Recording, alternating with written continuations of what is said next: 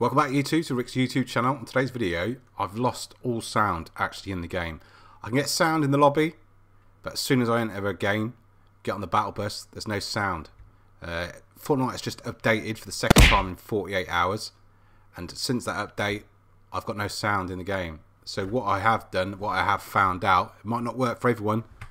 If you go into settings, go to uh, accessibility, and for some reason after the update, I've got visualize sound effects is on. Switch that off. I press apply. Go back into the game. And you can hear I've got sound. So if that's happening to you, I'm not going to say it works for everyone, but make sure you go into the accessibility and make sure the uh, that sound setting at the bottom there is switched to off. So I hope that helps someone out.